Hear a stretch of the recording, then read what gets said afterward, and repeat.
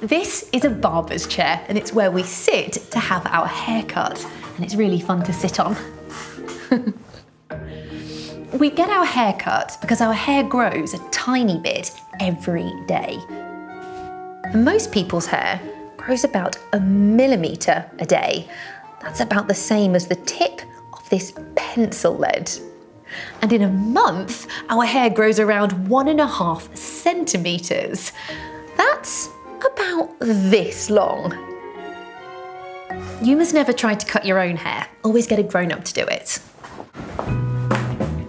This is Adam the barber, and today Gabriel is getting his hair cut. Hello. Hello. So, Gabriel, how do you like to have your hair cut? On the side, but not on the top. Okay, all right, let's get going.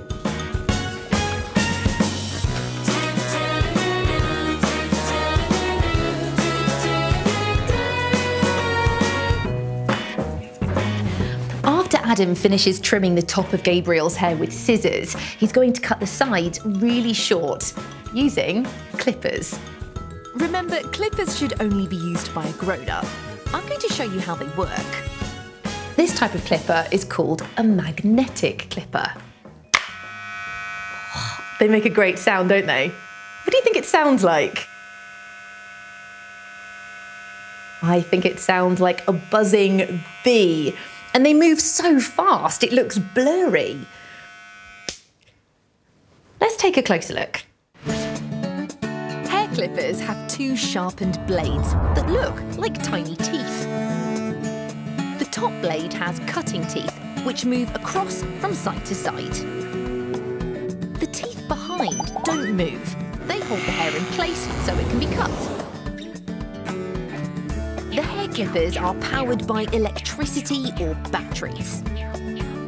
When the barber switches on the hair clippers, they start to buzz. It's called vibrating.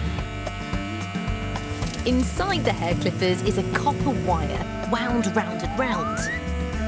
The electricity travels through the copper wire, giving it energy. The energy is called a magnetic field. The magnetic field makes the arm vibrate against the spring, pushing the teeth from side to side. As the teeth move from side to side, they trap the hair in between, and it gets cut off. Wow, isn't that clever? Let's have a look at the clippers with my special camera. This is a microscope and it helps us to see really small things much bigger. So let's take a look at those metal teeth. Ready? Whoa!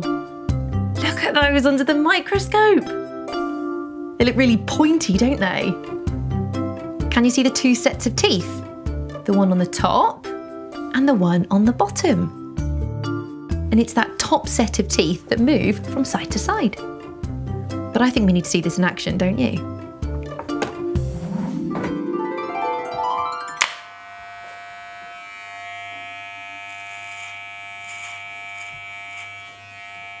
Can you hear the buzzing noise? That's the sound of the arm vibrating against the spring inside that moves the teeth from side to side. And there are little pieces of hair falling to the ground. How are you doing, Gabriel? Good. The teeth move so quickly, you can hardly see it. So before Adam cuts the other side of Gabriel's hair, I'm going to set up my special slow motion camera. Slow motion helps us to see things that are happening really quickly, much slower. The camera is switched on. Okay, Adam, ready when you are. Wow, can you see the tiny teeth moving from side to side? And look, they're chopping off little bits of Gabriel's hair.